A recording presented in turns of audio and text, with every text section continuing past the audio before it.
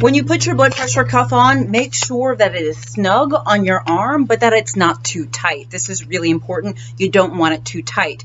Uh, something else, a lot of you guys were asking about um, with blood pressures, by the way, this is my blood pressure cuff. Many of you said you had this brand. If you're looking for a validated brand of home blood pressure cuffs, you can go to validatebp.org and it gives you a great list of things there.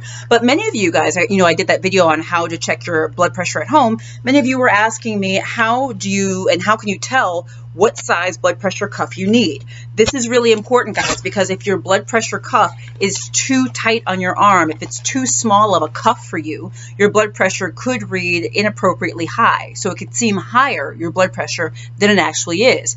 If your blood pressure cuff is too loose on your arm, your blood pressure could actually read too low. This is really important. So first thing you want to do, I'm going to show you how to, um, to figure this out. First thing you want to do is get your home blood pressure cuff if you haven't already. Um, many blood pressure cuffs on them will literally list um, the size of the arm that needs to go on the cuff, or rather, um, uh, the cuff needs to go on. So this is my blood pressure cuff. This measures a size of 22 to 42 centimeters. It also gives the inches 9 to 17 inches is the arm circumference that is ideal for this cuff size. So you may be wondering, well, what is my arm circumference? And by the way, so when you're looking and you're shopping, this is the box here, uh, you're shopping for blood pressure cuffs, make sure you check the label, check, check the back before you buy it uh, to look for the right size for you.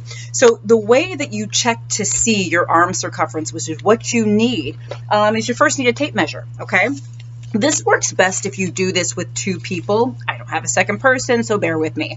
Um, the way that you check your arm circumference is you want to make sure you check your, um, the circumference means basically uh, how uh, how big your arm is sort of in the center where the blood pressure cuff will go.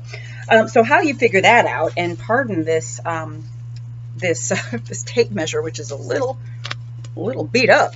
What you want to do with a tape measure is somebody's going to go behind you. Okay, let me just stand up like this. They're going to measure from here to the elbow, okay? And they'll take half that distance, and that's where you measure. So I, it's only just me. So if you go from there to there, I don't know if it's what, 13 or 14 uh, inches or so, so maybe seven and a half. So that kind of puts us around here. Again, this is a very quick and dirty way, but somebody else would do this. They would measure from the top, uh, the back of the, um, uh, the shoulder blade uh, down to the elbow and then cut that in half.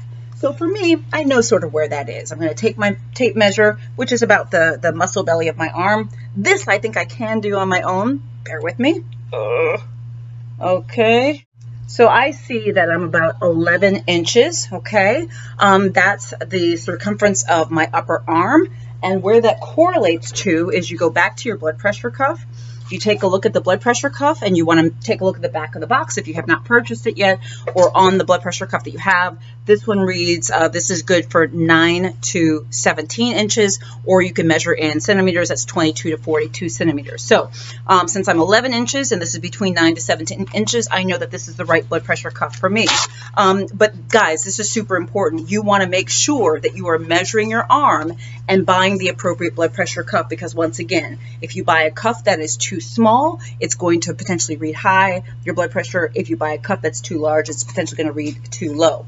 Um, remember, when you take your blood pressure, we talked about this, but this little guy needs to be sort of in the middle, okay? Um, check out the other video I did on how to check your blood pressure at home. I hope this is helpful for at least giving you some tips about the tightness and also how to make sure you have the right size because that is actually a big, big important part of this. And as always, I've said this before, take your blood pressure cuff into your doctor so that they can check your blood pressure cuff that you have at home against what they do in the office to make sure that what you're getting at home is accurate. Okay. Let me know what you do. Let me know if you've checked your arm circumference, if you made sure and made sure that you've got the right cuff size, this is super important. Guys, I'm Dr. Jen Caudle, practicing family physician, on-air health expert, and video creator. If you've not subscribed to my channel and click the little bell for updates, I invite you to do so. Guys, I'll see you soon. Oh, consider joining my subscription groups as well. We'll see you soon.